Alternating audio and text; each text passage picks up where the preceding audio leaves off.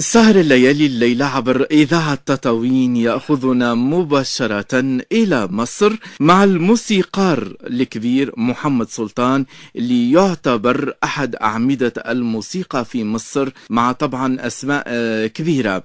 هو الموسيقار هو الملحن وهو أيضا الممثل. معنا اليوم في إذاعة تطاوين. أستاذي مساء النور. أهلا وسهلا. مساء الخير أهلا وسهلا. شو أحوالك؟ إن شاء الله بخير.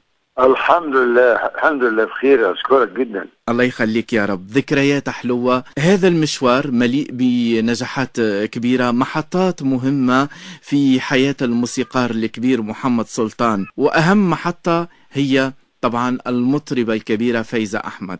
آه الله الله يرحمه. الله يرحمه. فقدنا شيء هام جدا ركن من أركان الغناء في العالم العربي يعني. أهم الذكريات ممكن نسترجعوها مع بعضنا أستاذي مع فايزة أحمد. كل الذكريات عن فايزة أحمد. فايزة أحمد ام أولادي عندي ولدين منها ربنا يخليهم. ربي هم يفضلهم. أطباء دلوقتي دكاترة الحمد لله. وبعدين فايزة شريكة حياتي ورفيقة عمري يعني. أقول لك إيه عن فايزة أحمد. ونتذكر أيضا حتى الفنانين نتذكر السيدة سلافة تونسية وقت اللي زارت بيت الموسيقار محمد سلطان في الصالون. ما شاء الله صور المطربة فايزة أحمد الكل موجودين في الصالون. ما زلت تحتفظ بهم الصور؟ موجودة في وجداني موجودة في طبعا. ضميري موجودة في قلبي يعني. دي أم اولادي نعم. فايزة بالنسبة لي شيء هام في حياتي. إنسانة عظيمة والله. طلبة عظيمة وإنسانة عظيمة. نرجع شوية للعود. نعرف أنه علاقة الموسيقار محمد سلطان بالعود علاقة وطيدة جدا خاصة منذ نعومة أظافرك بحياتك كلها كان هو رفيق الدرب العود. طبعا العود أساسي جدا عندي هو يعني معايا وأنا عندي سبع سنين.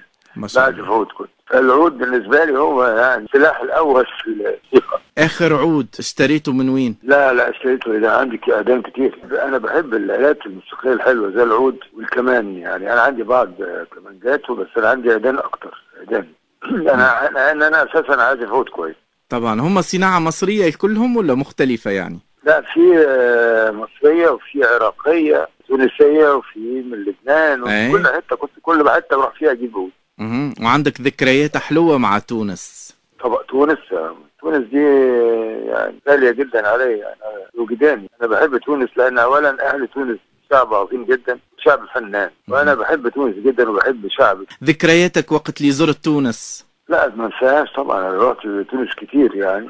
كنت رحتها أنا وفايزة كذا مرة ورحتها لوحدي كمان كذا مرة. السنوات هذه الأخيرة من يسأل عن الموسيقار محمد سلطان من أهل الفن؟ شكون اللي عندك تواصل معاهم ياخذوا تليفون يكلموك يطمنوا عليك على صحتك على أخبارك؟ لا طبعا ما فيش ليا طبعا آه، اللي أنا في المطربين اللي أنا قدمتهم زي نادية مصطفى وهاني شاكر ومحمد ثروت طبعا دول أنا قدمتهم فبيسألوا عني دايما. يسألوا عليك. آه دايما. لا آه، بص هقول لك حاجة. إحنا عندنا في مصر حكاية التواصل الإحساس كده بال- بالانتماء موجود عندنا كتير قوي يعني. لقطة جميلة جدا إن نشوفوها من جمعية محبي الأطرش إنها تكرم الموسيقار محمد سلطان. كان هذايا في شهر ستة العام هذايا دول طبعا أنت عارف ان فريد الأطرش كان آه، يعني يعني هام جدا في في حياتي في العلاقات يعني, يعني كنت بحبه جدا وكان صديق أساسا. صديق عزيز وكنت رفيق الصلة بيه على طول بالصلة بيه على طول. وأنا عر- اتعرفت على فايزة من عنده من بيته وشفتها عنده واتجوزنا. فريد الأطرش آه، بالنسبة لي أخ يعني فنان عظيم وأخ صديق عظيم كمان. نعم. أنا إنسان متواضع جدا يا عم واخد بالك. في جنتلمان كتير في ناس مصر والبلاد العربية مليانة جنتلمان. يعني الشعب العربي كله جنتلمان كله عظيم والله. مهم. أنا ده- أنا إنسان بحب التواضع يعني. بحب الحب وخلاص. يعني أنا بحب الناس الناس تحبني خلاص. لكن ما عنديش أبدا إحساس إن أنا مميز أو أنا في بالعكس أنا زي زي أي آه، يعني مواطن. نعم. قدمت كثير من الأعمال لكن خلينا آه، نستعرضوا مع بعضنا أهم ممكن الأعمال اللي تبقى في البال وتبقى راسخة للجمهور التونسي والعربي عموما. الكم الكبير جدا من أها. الأعمال الغنائية الموسيقية أغاني وقصائد كثيرة جدا وأعمال آه، مسرحية كتير قوي موسيقية عملتها كتير وموسيقى كتير جدا كمان غير الأغاني. ومطربين كتير جدا قدمتهم اللي دلوقتي بقوا نجوم زي هاني شاكر وزي نادية مصطفى وزي محمد ثروت كلهم دول قدمتهم يعني. يعني الموضوع فيه دسامة فيه حاجات كتير هتكلم عنها مش هخلص. قدمت الأصالة نصري مجموعة أيضا من الأغاني. آه طبعاً. قدمت آه طبعاً. ما شاء الله يعني إذا مش معقول أول حاجة عملتها لها نجحتها سمحتك كتير. سمحتك حاجة. طبعا سمحتك كتير. آه. أحبك من زمان. أغنية أكثر من الحب. أغنية هذه آه. الميادة الحناوي. أغنية آه، سميرة سعيد أغنية الليلة دي. أغنية أيضا سميرة سعيد أنت أنا. أغنية آه، كل الناس أصالة نصري. أغنية إياك تنسى سميرة سعيد. عجبك كده ميادة الحناوي.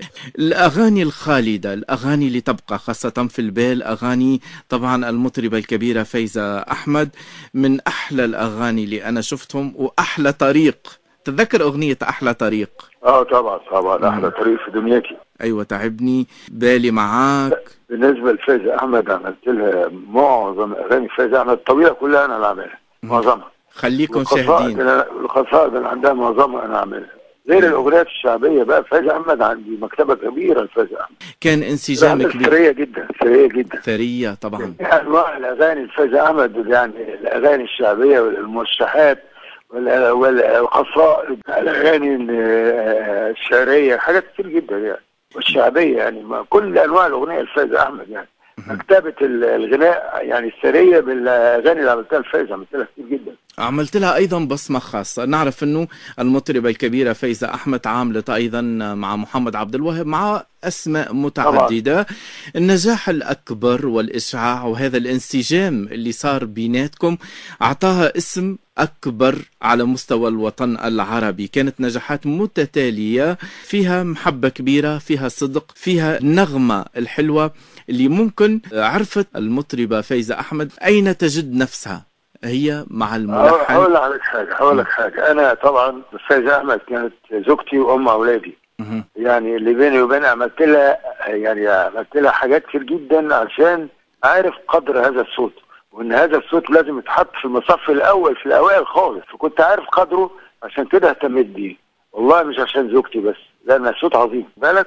لكن طبعا هي صوتها أفادني أنا يعني وخ- يعني وصلني للناس أكتر لأن صوت فايزة صوت عظيم. لازم أعترف بكده مش أنا بس آه، وقفت جنب فايزة وكبرتها ساعدتها لا هي كمان كبرتني بصوتها صوت عظيم. نعرف إنه خاصة كي تكون فنانة ناجحة وعندها اسم كبير وزوجها موسيقي وملحن وممثل يعني هل إنه الغيرة كانت تلعب دور بيناتكم؟ لا لا لا لا لا, لا عمر ما في غيرة دخلت بينا لا لا. كنت بتمنى إنها تبقى أحسن مني وهي كانت تتمنى ان أنا أكون أحسن منها. وإحنا الاثنين كنا مع بعض في سفينة واحدة راكبين سفينة واحدة.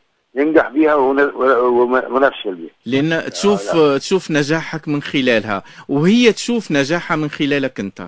صح صح. حفلات تونس أيضا كانت حفلات ناجحة للمطربة الكبيرة فايزة أحمد. من خلال زياراتكم إلى تونس هالذكريات الرائعة اللي تبقى. نعرف رأي الموسيقي يعني في الشعب والجمهور التونسي. فنيا نحكي. لا أنا أنا معروف رأيي عن الشعب التونسي وعن تونس بالذات. دائما أذكرها وأقول إن الشعب التونسي من أحسن الشعوب العربية أحطه في في المقام الأول الذي يس- يستوعب جيدا ويستمع كويس جدا ويعرف قدر كل موسيقي وكل فنان الشعب التونسي شعب عظيم جدا وأنا بحبه وأقدره جدا يعني الش- الشعوب ال- العربية كلها عظيمة يعني الشعب المغربي كمان. الشعوب الأخرى كلها الشعب المصري كله لكن الشعب التونسي بالذات يعني أحط تحتيه خطين إن هو بيستمع كويس قوي. بيعرف قدر كل واحد كويس قوي أستاذي تعاملت مع أكثر من اسم سواء سعاد محمد فايزة أحمد أصالة نصري أسماء متعدة يعني تعاملت مع ميادة أنا الحناوي. قدمت أصوات زي هاني شاكر ومحمد ثروت ونادية مصطفى أنا اللي قدمتهم. أنا أنا مش أنا مش حنبالي قوي إن أنا أزعل من كل صغيرة وكبيرة لا لأن كلنا كل إنسان في الدنيا زي ما هو ممكن يتميز ويتقدم ممكن يخطأ كمان. كلنا نغلط يعني. نعم. أستاذي أهم المحطات اللي تبقى في البال للموسيقار محمد سلطان؟ والله محطات عندي محطات كثيرة جدا يعني. منها. هقول لك إيه أنا طبعا هقول لك حاجة. علاقتي بالموسيقار عبد الوهاب لأن أنا أعرفه وأنا عيل صغير. الموسيقار عبد الوهاب ده يعني له قدر كبير جدا في حياتي يعني. دايما دايما بقد بسأل عليه ودايما كنت على صله بيه لأن بعرفه وأنا طفل أستاذ فريد برضو كان صديقي جدا. مطربين كتير قدمتهم فايزه كانت طبعا في المقدمة لأن فايز أحمد لها فضل هي صوتها له فضل عليا ان ثبت لي خلاني محمد سلطان. أنا ما أنا مش مغرور وعمري ما ما أنكر ابدا مصلحتي. فايزه أحمد كان لها دور إن أنا اسمي يكبر وقدري كملحن يكبر من خلال صوتها. صوت عظيم. وأنا كنت بديها أحلى حاجة عندي طبعا لأن كنت أحبها جدا وكنت مؤمن بصوتها جدا. نعم. فايزه نعم. أحمد شيء هام في حياتي. ومع فايزه أحمد بالذات عندي آه، سجل كبير جدا وأعمال كثيرة جدا. فايزه كانت تغني الأغنية الشعبية الأغنية الدسمة الكلاسيك والقصائد والموشحات أنا عارف كويس إن الشعب التونسي من أعظم الشعوب العربية المستمع الجيد. يعني الشعب التونسي يع- يعرف يميز قدر كل فنان ويعرف هو فين يتحط في أي مرتبه نعم. مصلحتي إن الأغاني بتاعتي وبتاعت فايز تبقى موجودة عندكم كلها. لأن الشعب التونسي من أعظم الشعوب العربية استماع يعني. الله ينورك يسمع. كويس قوي الشعب التونسي. طبعا الموسيقار الكبير محمد سلطان الكلمة اللي كنت عبر إذاعة تطاوين من تونس. بقول لهم أنا بحبكم جدا وبحب الشعب التونسي جدا بحب الشعب العربي كله والشعب التونسي بصفة خاصة. أنا آه بضع في اعتباري واحترامي وتقديري لاذاعه تطاوين اذاعه تطاوين لها قدر جدا كبير جدا من الحب في قلبي وبشكر بالذات اذاعه تطاوين وأشكركم جدا وأنا اسمي الموسيقار محمد سلطان. الله ينورك الله نورتني الليلة موسيقارنا الكبير طبعا عبر. إذاعة تطاوين في سهر الليالي. الله يديم الصحة إن شاء الله ديما. نسمع أخبار طيبة عليك ونلتقي. على محبة بإذن الله. شكرا لك بيك يا فندم تحت أمرك في أي الله يخليك. شكرا أمرك. لك أستاذي. الله يخليك يا فندم. عايشك شكرا. لك